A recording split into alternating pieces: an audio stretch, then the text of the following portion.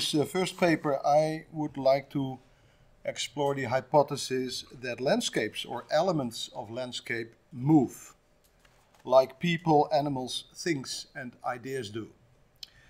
Approaching the landscape as something movable is against our nature, of course, and conflicts with very basic notions in geography and archaeology. In my talk, I will first briefly discuss the roots of the commonly held view that landscapes are necessarily spatially fixed and stable and static, uh, particularly, particularly referring to archaeology, heritage, and geography. And then I will dis discuss examples of monuments and landscapes that actually did or do move. I end with a plea for taking the hypothesis seriously in landscape research and for a reconceptualization along these lines of the life histories or biographies of landscapes and monuments. As said, it is the commonly held view, implicitly or explicitly, that landscapes do not move. That they are external to people, both physical and in terms of human experience. That they are fixed and therefore provide an environmental and cultural frame of reference for movement, migration, and travel. And furthermore, of course, that landscape, landscapes consist first and foremost of solid substance, making them immovable by definition. The idea that landscapes are immovable has a complex intellectual, cultural, and scientific his history, but it is at least rooted in two other basic notions. The first is the primacy of material authenticity. The second, of course, the geographical tradition in the thinking about the primacy of location. Each location occupying a unique place in the geometric coordinate system and having a contingent history and geographic identity.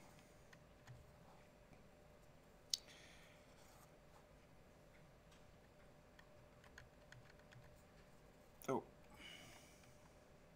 I missed two. yeah, that's the one.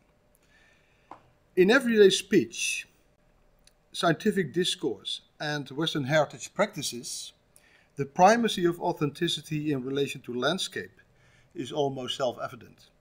Following the 19th century debates on authenticity, the thinking about the concept in, later uh, in the later uh, 20th century uh, always had a strong anachronistic element. The notion stands for unchanging constant for the stable properties of historical matters, usually artifacts, artworks, and traditions, which since their time of origin have proved impervious to changing social contexts, to cultural values, and economic functions. Within this framework, high value is attached to the material and to material authenticity, with an elite of monuments and landscapes seen as the most original and many others as copies. The domain of material authenticity itself contains a hidden spatial hierarchy. Even when objects that belong to a landscape's unique history start to circulate and accumulate in other places, the initial place is generally valued highest because of its place authenticity. This view of authenticity, and particularly of place authenticity, is also deeply embedded in geographical theories of place and in the European landscape traditions of geography. These traditions, landscapes are generally seen as having unique physical characteristics and contingent cultural histories, leading to well-known qualifications like the personality of the region, personnalité géographique, genius loci, and the identity of place.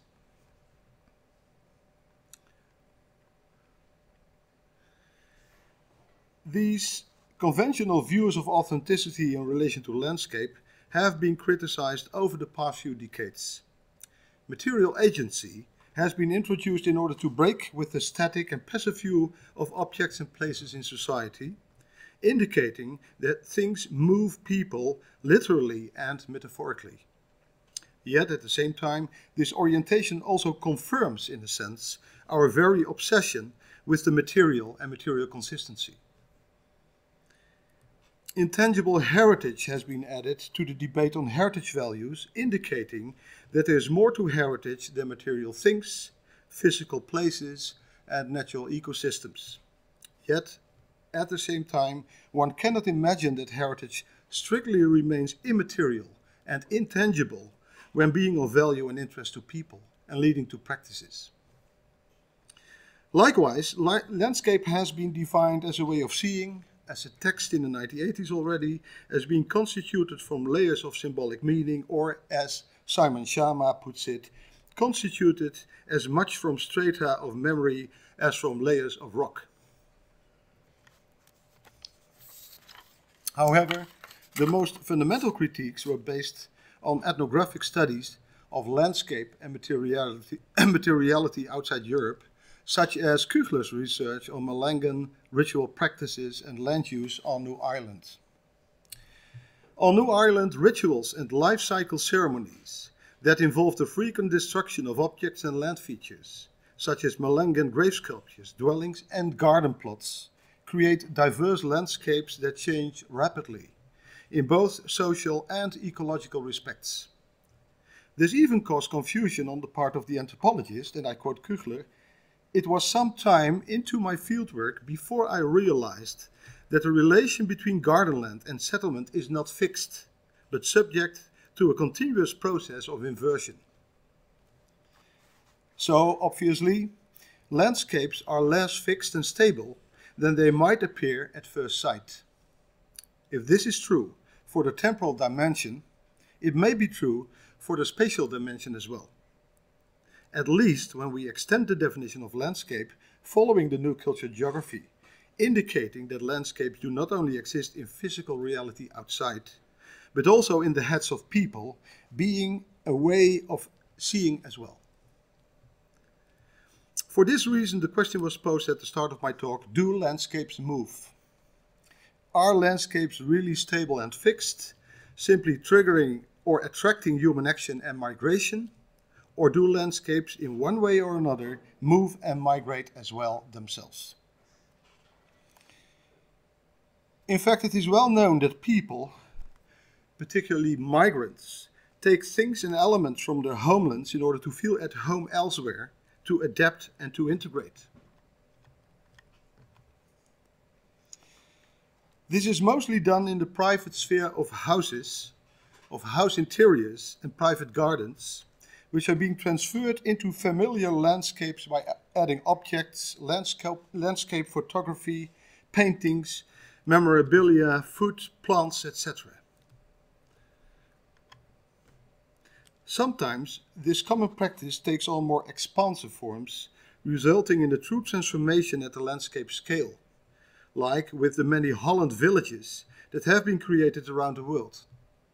Several of these villages, such as those in Northern America and Brazil, were created intentionally by, by Dutch immigrants. In Holland, Michigan, descendants of Dutch immigrants not only reproduced the name of their home country and created a Dutch atmosphere in the built environment, but they also started to actually move historic buildings from the Netherlands to Michigan. Over the last 50 years, they acquired ancient buildings in the northern part of the Netherlands, Frisia, and the province of Groningen, like windmills and post offices, farms, which were taken out of use but did not yet have a protected status.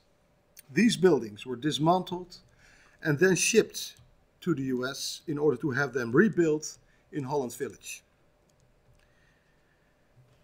The consequences of migration and movement for landscape turn out to be even more impressive and spatially extensive when people take landscapes with them in their heads or in the form of spatial plans, maps, designs, and engineering technologies. A good example of this is the Dutch polder landscape, as it evolved from the end of the Middle Ages. The polders proved to be a successful formula in the constant struggle against the rising water table in reclaimed peat areas, and later, from the early 16th century onwards, in the draining of big lakes in the western part of the Netherlands, like the Beemster. Polders were surrounded by dikes and drainage systems in which windmills were used to keep the water out. In the area enclosed by the dikes, water was managed meticulously and the land could be safeguarded for agricultural purposes, mostly for grazing. Besides the spread and repetition of a successful system of engineering and design principles, the creation and spread of the polder landscape formula also involved the actual displacement of crucial physical elements. It was quite self-evident, for example, to dismantle windmills and to have them moved to another spot where they mo were most needed, cases in which the mills retained their names. Also, the practitioners and workmen who executed the engineers' designs built their own temporary work villages with wooden constructions. These flimsy villages functioned as a kind of instant landscapes of production as they were dismantled after the project was done and taken to another lake where the whole process of dike building and drainage had to start over again. So a landscape that was moved from one lake to another lake. But elements of the Dutch polder landscape moved in other ways as well, with far-reaching consequences. The Dutch took the design principles of the polder landscape to elsewhere, notably the Dutch colonies. Within the context of their co colonial regimes, the polder landscape was transported and introduced in new settings in order to adapt local economies to the Dutch system of agricultural production, in order to drain highly valued local wetland economies, and in order to introduce an alien water management system for sustaining more intensive and efficient exploitation according to Western principles. In the same movement, the polder landscape became an effective technological and symbolic device for exercising power as well. In the colonies, the dikes were not only used to keep the water out, but also to keep the slaves in, and to have a high viewpoint for controlling their movements and work visually. Although the design principles were similar, the polders now had the added function of an open-air prison and an ideological meaning for which they were never intended and designed in the western part of the Netherlands. We can list many more examples of monuments and landscapes that, in a sense, spread widely because they entailed the realization and materialization of a successful design program, such as the Roman forts along the northern frontier of the Roman Empire uh, or late medieval church building. That things may not have been very different in the prehistoric past is shown by recent research by a team of Leiden University, led by David Fontijn and Quentin Bourgeois. They investigate the rapid expansion of barrow and heathland landscapes in northwestern Europe during the Neolithic, a development that coincided with the large-scale migration around the start of the third millennium BC of pastoralists originating from the steppe of Western Asia. These so-called Yamnaya groups were highly mobile because as pastoralists they had different perceptions of land and because they used horses and carts to migrate over vast distances. New insights in their ways of life, their land use and complex history of migration have been published recently on the basis of analysis of ancient DNA and comparative research on other bioarchaeological data and their material culture. Additionally, Fontijn and Bourgeois have examined their burial landscapes in detail, leading them to suggest that these landscapes were in fact an integral part of their migratory way of life as well. It seems as if they took their steppe concept of landscape with them and recreated this landscape in the northwest Europe part of Europe.